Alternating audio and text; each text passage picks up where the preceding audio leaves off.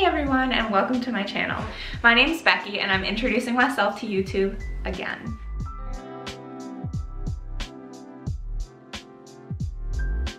I'm a 22 year old post-grad living in the suburbs of Chicago who's always had a passion for media, whether it be creating or consuming.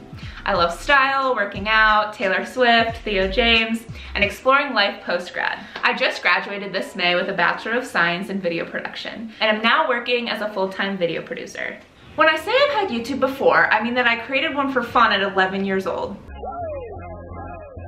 And then removed those videos and turned it into a more professional looking page.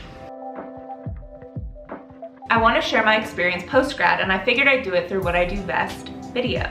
This channel will feature lifestyle videos like working out, being productive, we love Notion and Apple here, setting goals, monthly resets, creating healthy meals, and shopping. It will also feature tech videos including my favorite video production tools, my production and post-production processes, and an insight into the life of a media producer.